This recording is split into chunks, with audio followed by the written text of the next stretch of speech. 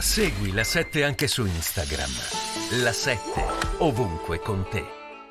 Benvenuto Francesco Rutelli, bentornato.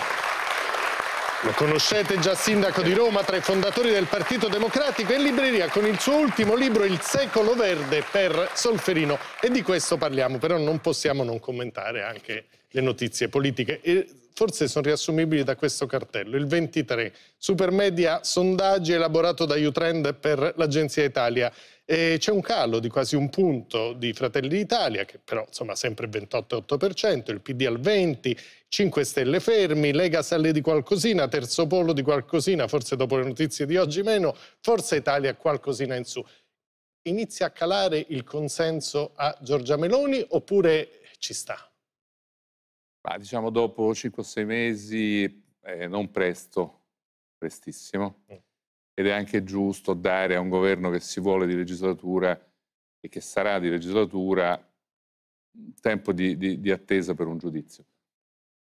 Io posso dare la mia opinione, non la do perché come lei sa ho lasciato la politica da dieci anni e non intendo... Ah, questo... Però rimane cittadino, no? Questo, no, questo è impressionante e non è, e non è, positivo. Un sacco di gente mi, mi, ferma e dice ah, lei ha fatto bene. E io, a fare che? A fare il traforo? Il, no, lei ha fatto bene a lasciare la politica. E questo è brutto e io invece contraddico sempre quelli che dicono questo, anzi incoraggio a impegnarsi. Però, Però l'esperienza ce l'ho fatto, l'ho fatto per 30 anni, quindi l'ho fatto per 30 allora, anni. rovesciamola, punto. ci dia una chiave di lettura della società. Ci dia una chiave di lettura di come noi viviamo la politica. Il mio argomento è che noi dobbiamo evitare che tutto si polarizzi al massimo. Le dico una cosa strana che sembrerà addirittura esageratamente strana. In un piccolo stato americano, tra i 5-6 milioni di abitanti, il Wisconsin, hanno eletto un giudice della Corte locale, la Corte Suprema. Viene eletto. Sono sette, ne hanno eletto uno. Lei sa quanto è costata la campagna elettorale in questo piccolo Stato americano per eleggere un giudice locale? Quanto? 40 milioni di dollari. Perché? Perché tra il candidato democratico e quello repubblicano era decisivo per sistemare i collegi, la polemica sull'aborto, eccetera, eccetera. Quindi la mia opinione, anche per l'Italia, è che è evidente che la polarizzazione premia da identità. Però di fronte ai problemi colossali che ha il nostro paese, grandi, tanti, indirettamente ne parliamo stasera, forse provando a indicare qualche soluzione di interesse generale, alcune aree secondo me dovrebbero essere di convergenza, in qualche modo di salvezza nazionale. Cioè è chiaro che questo è un governo politico ed è bene che sia un governo politico, non un governo tecnico. Abbiamo avuti anche, Però... tro anche troppi però su alcune aree a mio avviso è importante che ci sia una condivisione più larga e non il trionfo della polarizzazione. Se no, come in America... Ci come costa in America, troppo anche materialmente. Ah, non solo costa, ma come in America eh, noi ci rendiamo conto cosa significherà per l'Europa i rapporti internazionali, eccetera, se torna Trump. Tutti ne siamo consapevoli, no? E quindi è un'incidenza enorme sulla vita di tutti. A mio avviso la saggezza richiederebbe che su alcune, io penso che il tema ecco, ecologico sia tra questi, quale, grandi questioni, ci sia scrive, una convergenza. Ecco, lei scrive un libro sul secolo verde, quindi questioni ambientali, ci dice intanto perché il secolo verde? Perché siamo esattamente a metà. Secolo verde, nella narrazione di questo libro, è dal 1970, quando inizia la coscienza ecologica, 2070 la India il più popoloso paese del mondo già oggi, dovrebbe arrivare a emissioni zero. Allora, ce la facciamo?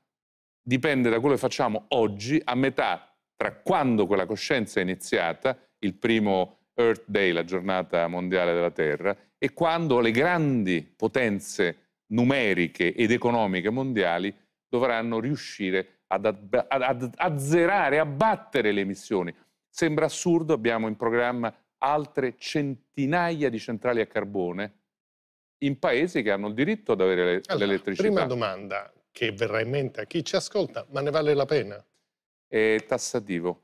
Eh, la gente ha imparato a rendersi conto che se abbiamo siccità prolungate, carenza di prodotti alimentari, migrazioni determinate in molti casi dal clima, La prima guerra che c'è stata in Siria ha avuto un'origine dalla siccità, la nascita dell'ISIS, del terrorismo, ha avuto origine dalla siccità prolungata che ha rivoltato i contadini di un pezzo della Siria contro il governo di Assad.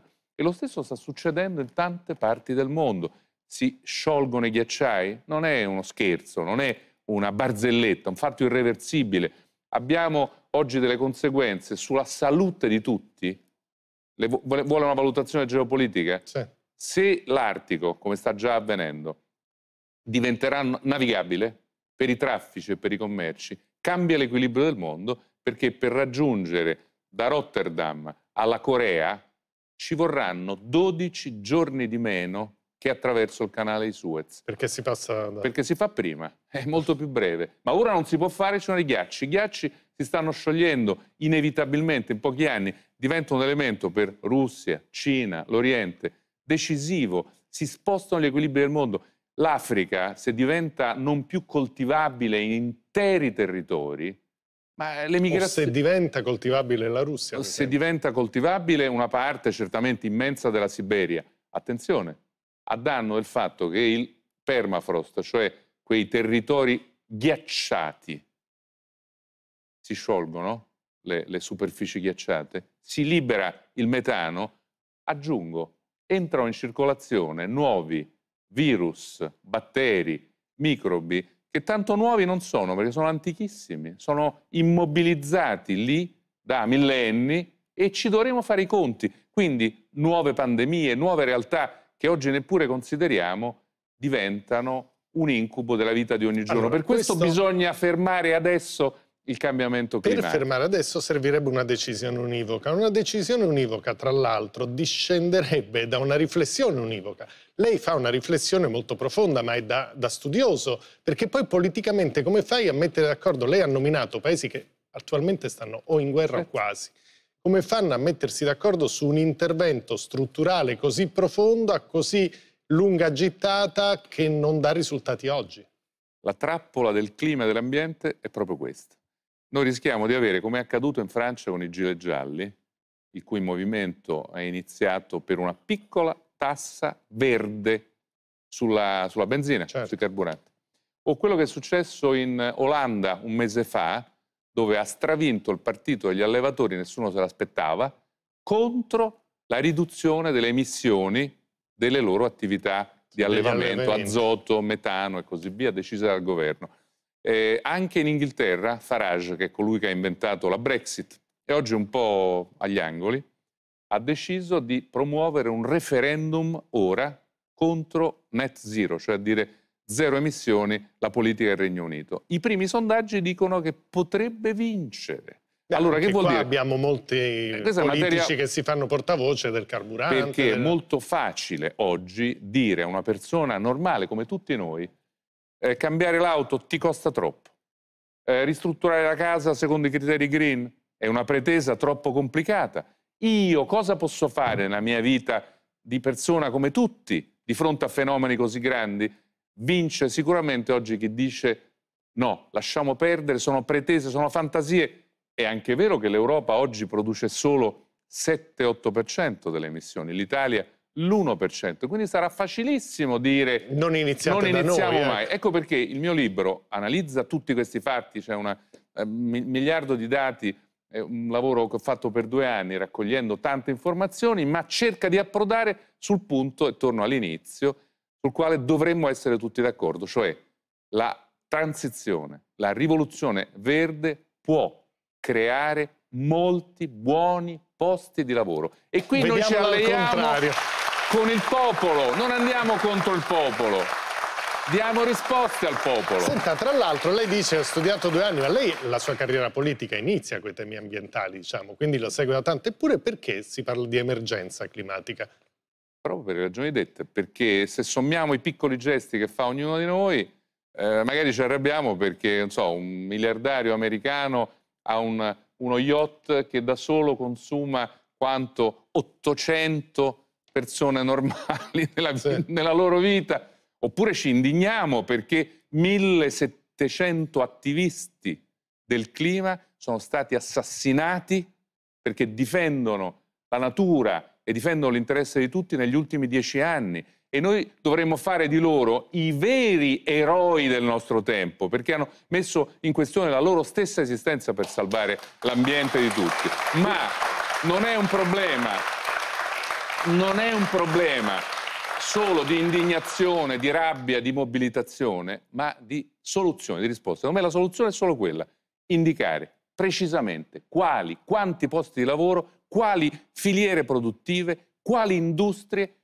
quali ristrutturazioni produttive noi possiamo fare per dare lavoro a operai specializzati, tecnici, esperti digitali, persone che operano nell'agricoltura, nei settori più importanti della vita del nostro paese. Il mio libro fa il tentativo di indicare giuntisti, tirafili, nuovi mestieri di cui nessuno ha mai sentito parlare, allora, che serviranno oggi e domani. Lei dedica il libro a una persona oggi senza volto, un giovane tra i 16 e i 30 anni. Perché non hanno volto? Perché ho la speranza che un ragazzo di oggi guidi tutti noi e ci insegni la passione, la competenza e non solo la voglia di cambiare il mondo, ma la concretezza di riuscire a ottenere dei grandi risultati. Perché non abbiamo un partito verde in Italia? O almeno lo abbiamo, ma non delle dimensioni che si trovano Ce l'abbiamo, abbiamo tanti esempi. Io prendo come esempio valido migliore i verdi tedeschi. Oggi sono al governo, fanno innovazioni, compromessi, avanzamenti, compromessi, hanno un grande consenso, vanno nelle fabbriche, convincono i lavoratori, i sindacati, coloro che rappresentano i grandi interessi di quel paese e hanno un consenso popolare tra i giovani. Quindi io dico, non do ricette politiche, ma dico, prendiamo esempio da chi è stato bravo. I Verdi tedeschi hanno messo insieme fondamentalisti e moderati, eh, progetti locali, grande visione. Fanno politica. È un buon esempio di politica che dà le risposte. Il secolo verde, Francesco Rutelli per Solferino, grazie. grazie. In bocca al lupo e buon lavoro. Grazie. grazie.